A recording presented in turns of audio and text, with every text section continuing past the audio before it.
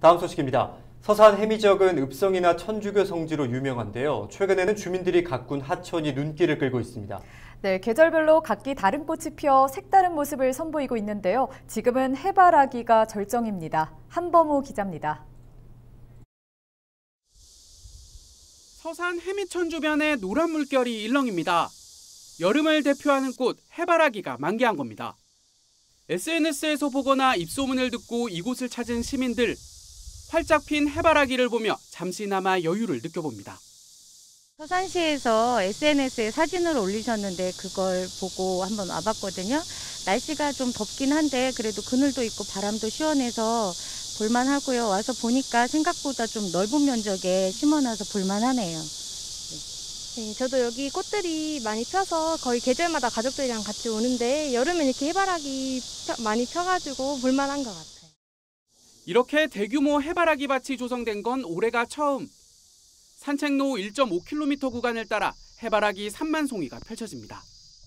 이 꽃들은 지난 봄부터 주민과 해미면 직원들이 직접 심고 가꾼 것들입니다.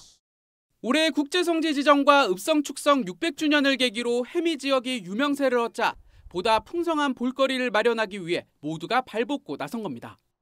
해미는 이런 정주장으로 자연환경을 가지고 꽃과 함께 이어질 수 있는 곳으로 지금 만들고 있습니다. 국제 성지를 따라서 지역 경제 활성화라든가 전체적인 부분에서 어, 지역 주민을 위해서 지금 함께 공동적으로 만들어가고 있습니다. 주민 손길이 닿은 꽃과 나무는 해미천을 계절마다 특별한 장소로 만들어줍니다.